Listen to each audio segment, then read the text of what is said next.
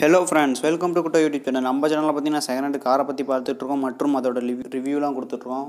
அதான் வைக்கிற நம்ம இன்றைக்கி எந்த காரை பற்றி பார்க்க போகிறோம் அதுக்கு முன்னாடி நம்ம சேனலுக்கு இது வரைக்கும் சப்ஸ்கிரைப் பண்ணாமல் இருக்கீங்க மறக்காமல் சப்ஸ்கிரைப் பண்ணிடுங்க அதாவது நம்ம இன்றைக்கி எந்த காரை பற்றி பார்க்க போகிறோம்னா ஹோண்டாய் சாண்ட்ரோ ஜிங்க் பற்றி தான் பார்க்க போகிறோம் கார் மாடல்னு பார்க்கணும்னா ரெண்டாயிரத்தி ஏழு மாடலுங்க அதாவது கார் ரிஜிஸ்ட்ரேஷன் சொல்ல போனோம்னா பொள்ளாச்சி ரிஜிஸ்ட்ரேஷன் தான்.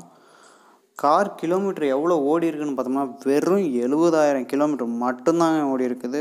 கார் கண்டிஷன்னு சொல்ல போனால் எந்த கண்டிஷனில் இருக்குன்னு சொல்லியிருக்காங்க. வெறும் எக்ஸலண்ட்டான கண்டிஷனில் இருக்குன்னு சொல்லியிருக்காங்க. நல்ல கண்டிஷனில் இருக்குது அவ்வளோக்கெலாம் ஓட்ட கிடையாது அப்படின்ற மாதிரி சொல்லியிருக்கிறாங்க. அதே மாதிரி காரு ஓனர்னு பார்க்கணும்னா சிங்கிள் ஓனர் வண்டி தாங்க சிங்கிள் ஓனர் வண்டி தான் சொல்லவே தெரியல. எந்த கண்டிஷனில் வச்சுருப்பாங்க? எவ்வளோ நீட்டாக வச்சுருப்பாங்கன்னு சொல்கிறதில்ல கார் பார்த்திங்கன்னா நல்ல கண்டிஷனில் இருக்கும் பார்த்தீங்கனாலே தெரியும். ரொம்ப சைனிங்காக இருக்குது ஒரு ப்ராப்ளம் இல்லை இன்டீரியரும் சரி எக்ஸ்டீரியரும் சரி நல்ல கண்டிஷனில் இருக்குன்னு சொல்லியிருக்காங்க.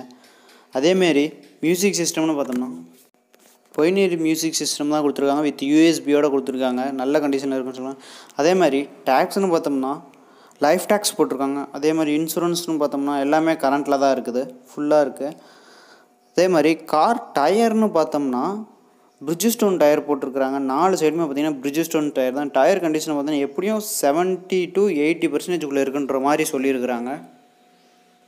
அதே மாதிரி சீட் கவர்னு பார்த்தோம்னா ஃப்ரண்ட்டும் சரி பேக்கும் சரி ரெண்டு சைடுமே பார்த்தீங்கன்னா லெதர்டு சீட் கவர் தான் கொடுத்துருக்காங்க. நல்ல கண்டிஷனில் இருக்குது சீட்லாம் பார்த்தீங்கன்னா இப்போ தான் புதுசு போட்டிருக்காங்கன்னு நினைக்கிறேன்.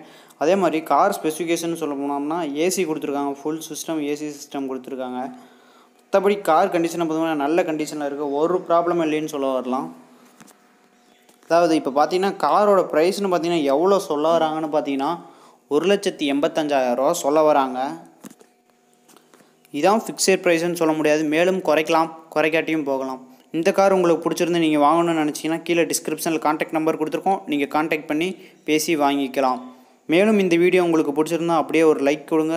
நம்ம சேனலுக்கு இது வரைக்கும் சப்ஸ்கிரைப் பண்ணாமல் பார்த்தீங்கன்னா மறக்காமல் சப்ஸ்கிரைப் பண்ணிடுங்க அதே மாதிரி உங்கள் ஃப்ரெண்ட்ஸுக்கும் ஷேர் பண்ணிடுங்க